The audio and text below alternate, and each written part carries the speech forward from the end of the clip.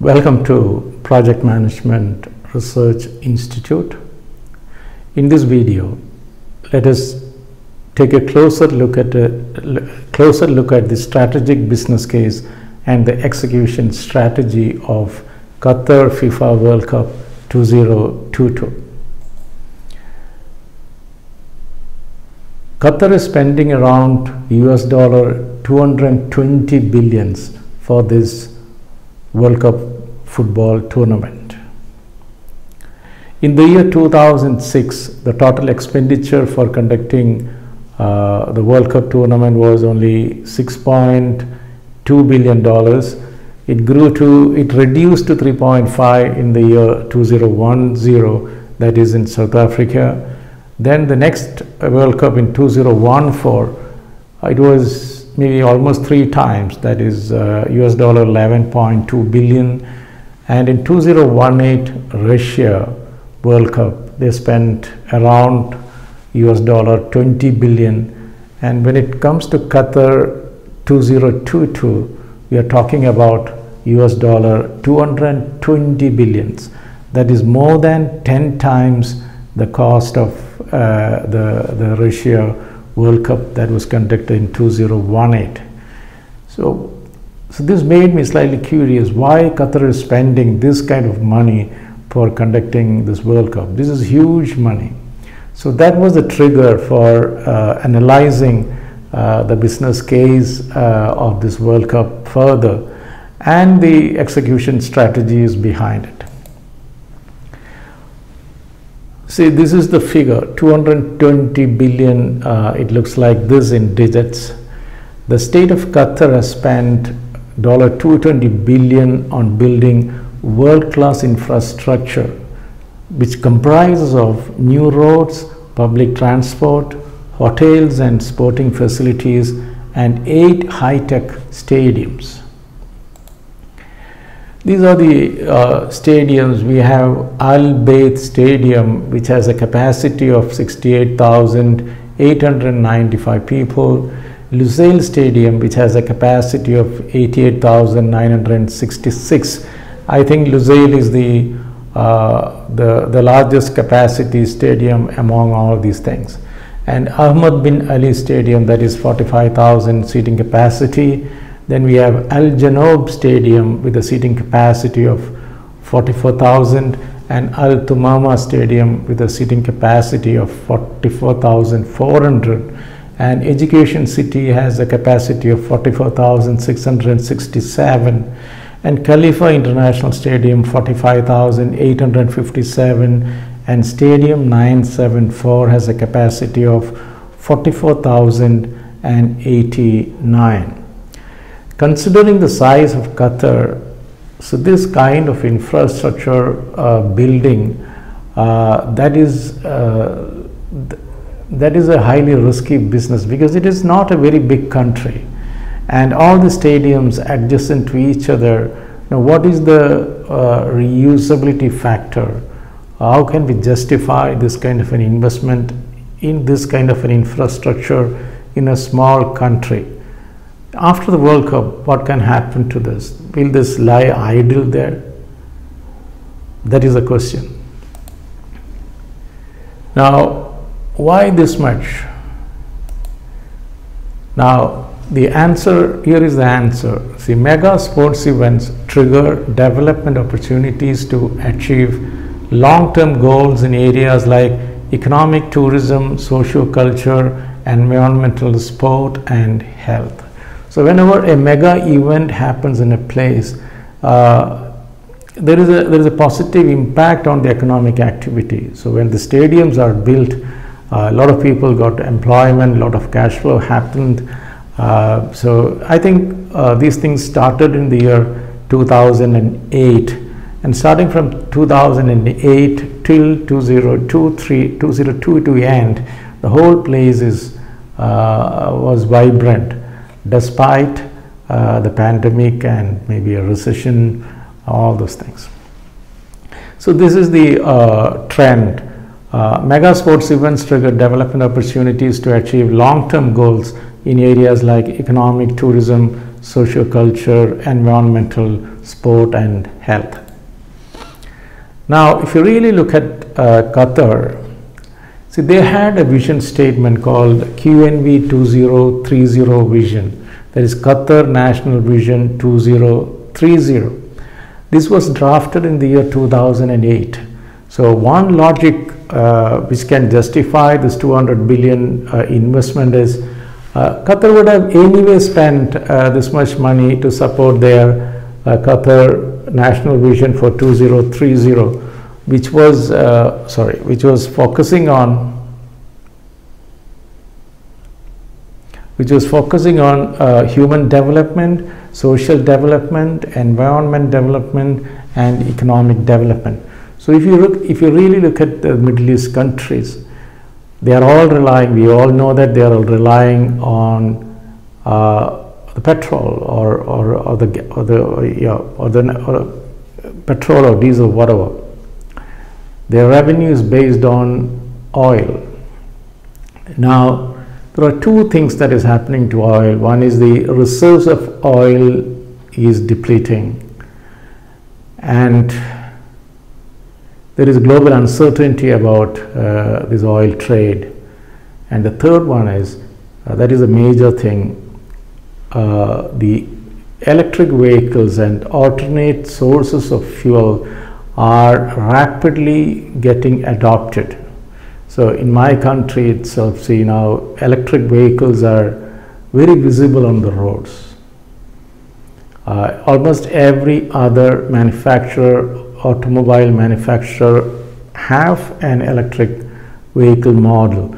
And soon uh, these hydrogen uh, vehicles are also going to come in. So alternate so the reliance on oil will reduce. That is one then this environmental impact because most of these countries okay the the temperature levels are also increasing so they have a lot of money with them so they are looking for other opportunities or other avenues for improvement. It was all started by uh, Dubai uh, because Dubai had this national vision for 2015 uh, to convert Dubai into the best tourist destination of the world. They started by you know Emirates Airlines, then new airport, new seaports, uh, the you know the uh, Dubai Palm, the Dubai World, uh, the Burj Khalifa. So all these things put together, they could successfully make the transition uh, from an oil-dependent economy to a tourism-dependent uh, economy. Uh, now, the next to follow suit is Qatar with this World Cup. They had this QNV Vision 2030, and this World Cup uh, became is becoming a catalyst to speed up the whole thing. So one logic is Qatar would have anyway spent this kind of money for supporting their uh, national vision for 2030 and through this World Cup they have speed they have speeded it up that's all so they are not putting this 200 billion dollars onto the World Cup they are investing that 200 billion dollars onto their national vision for 2030 World Cup is only a catalyst for this entire activity. Now, this, if you really look at uh, this World Cup 2020, 2022 has this sustainability, sustainability strategy, that is strategy that is driving it. What is the sustainability strategy?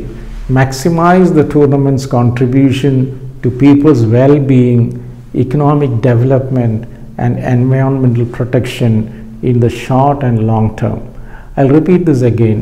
Sus maximize the tournament's contribution to people's well-being, economic development and environmental protection in the short and long term.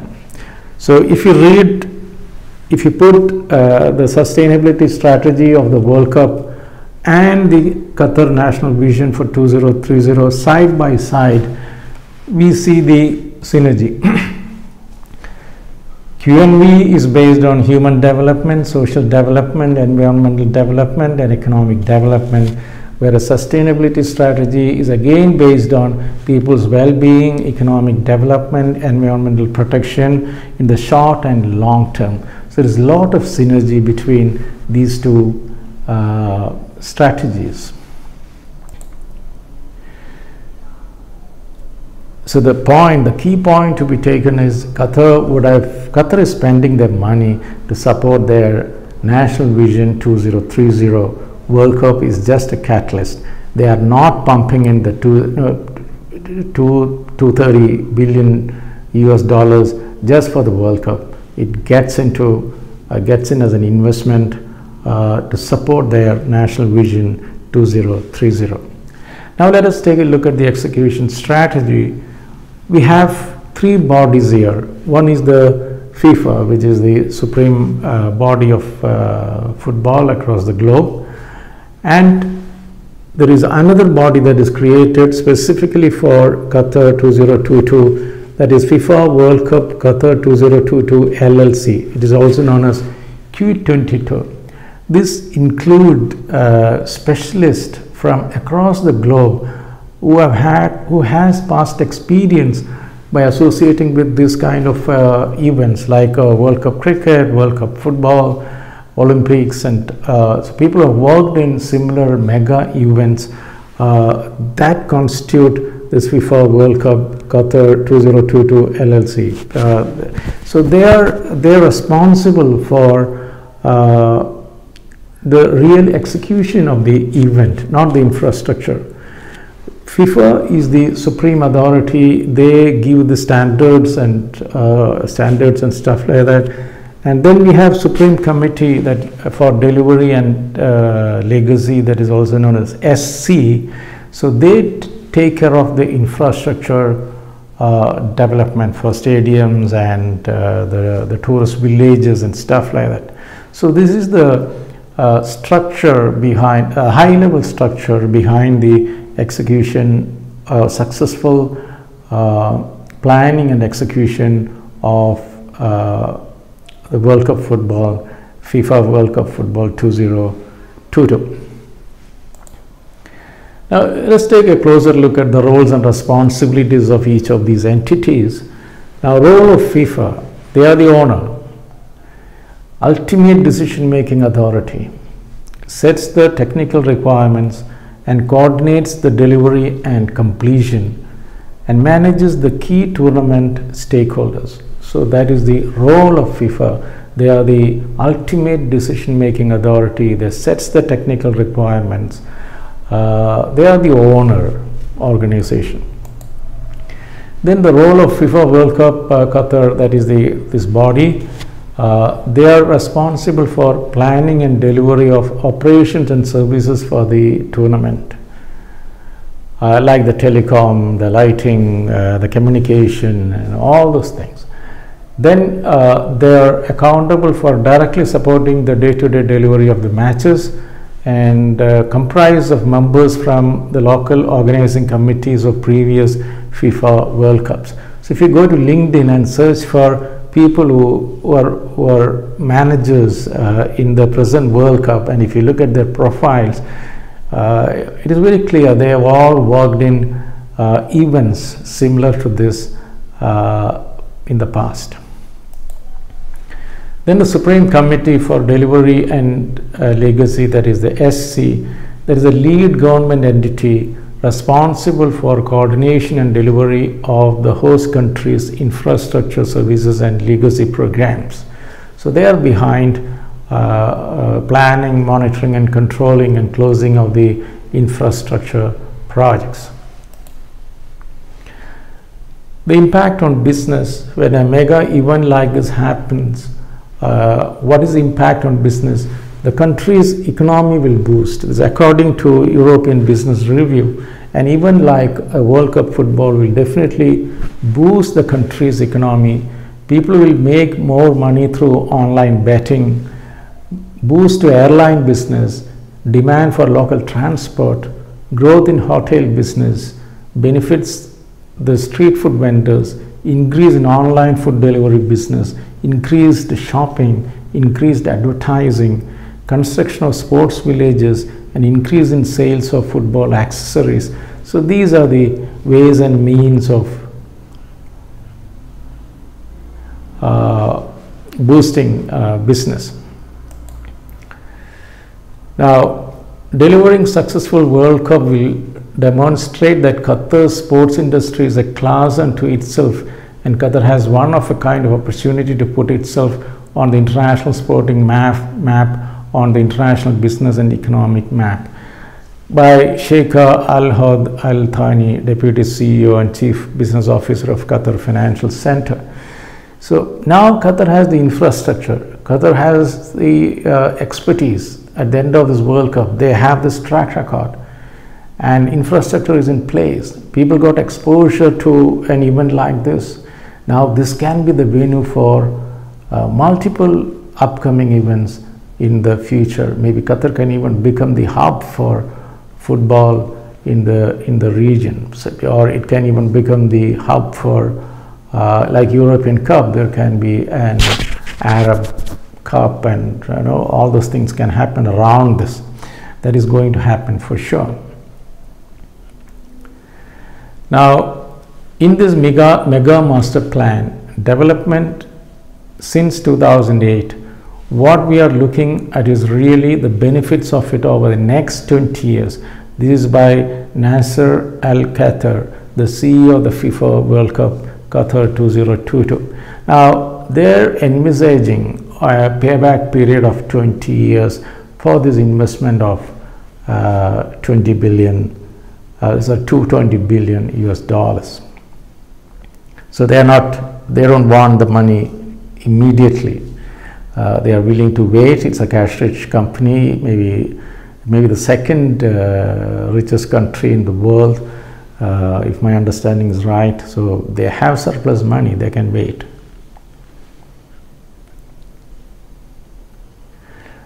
Now, uh, this is by the FIFA president Gianni Infantino. I've never seen a host being so ready so much in advance. All stadiums are finished infrastructure in terms of hotels and roads is being completed. So Qatar is ready, FIFA is ready, and the world is ready. Yes, this was a high precision demonstration of program and project planning, monitoring, and controlling. So mega projects concurrently happening. Everything got over ahead of schedule and and we, we can feel it when the tool everything is is in place uh, there, there, there is absolutely no problem so this is a, high degree uh, demonstration of professional project management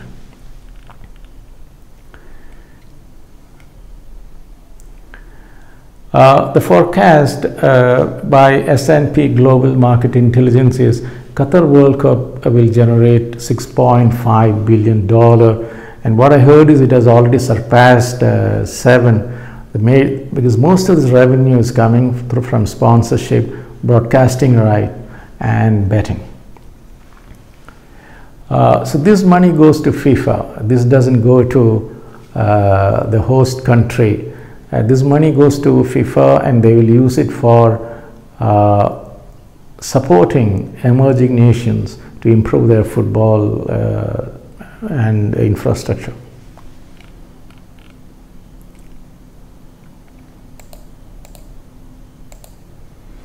These are the sponsors. So Adidas, Coca-Cola, Wanda, Hyundai, Qatar Airways, Qatar Energy, Visa, Budweiser, Byju's, Crypto, Globant, uh, Hisense and McDonald's, Vivo. Uh, these are the uh, sponsors for FIFA as well as this particular, some of them are uh, sponsors for this particular World Cup and others are uh, sponsors for FIFA itself. Uh, so thank you very much. so I got, we got curious when we read the investment of 220 billion which is 20 times uh, more than 10 times more than uh, more than 10 times uh, than the previous World Cup that was organized in Russia. So that prompted us to research on this further and uh, and the key takeaway is uh, this food, this investment is not for Qatar uh, World Cup 2022 this is for actually this is for supporting the Qatar's national vision 2030 uh, World Cup has you know, speeded up the whole process uh, and as per the CEO of this World Cup what he's saying is we are willing to wait for 20 years to really reap the benefits of this investment. Hope uh, we could add uh, good value to you and if you have not subscribed to our channel yet please do subscribe. We'll be coming out with more videos like this in the future. Thank you very much for watching.